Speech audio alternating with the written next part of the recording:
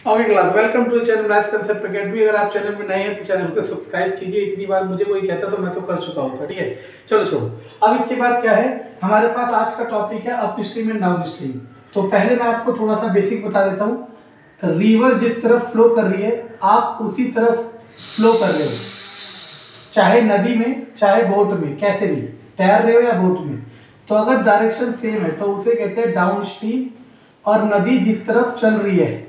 आप उसके अपोजिट तरफ़ फ्लो कर रहे हो, चाहे तैर रहे हो, चाहे नाव में तो उसे कहते हैं अप स्ट्रीम ठीक है ना? तो डाउन स्ट्रीम में स्पीड होती है x plus Y upstream में स्पीड होती है एक्स माइनस वाई ये बहुत बेसिक्स है जो आपको पता होना चाहिए। और याद रखना एक्स हमेशा किसकी स्पीड होती है?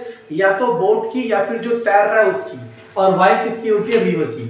अब आपके पास क्वेश्चन कुछ इस तरीके से आया। आपको डाउन स्ट्रीम स्पीड दे रखी है अप स्ट्रीम स्पीड दे रखी है। और किसकी स्पीड पूछी? बोट की। तो इसका डायरेक्ट फॉर्मूला है down plus up by two that is 15 plus 10 by two that is 25 by two that is 12.5 kilometre per hour कितनी बेसिक चीज़ है? इसी तरीके से क्लास अगर आपसे पूछता है स्पीड ऑफ़ रिवर रिवर कह लो करंट कह लो, पानी कह लो, अगर उसकी स्पीड पूछता है तो उसका फॉर्मूला है down minus up by two पंद्रह माइनस दस बटे दो, पाँच बटे दो that is two point five kilometre per hour अगर कोई इस तरीके से करता है तो वो इस क्वेश्चन को विद इन सेकेंड्स कर लेगा और चीज़ों को बहुत आसानी से डील कर सकता है।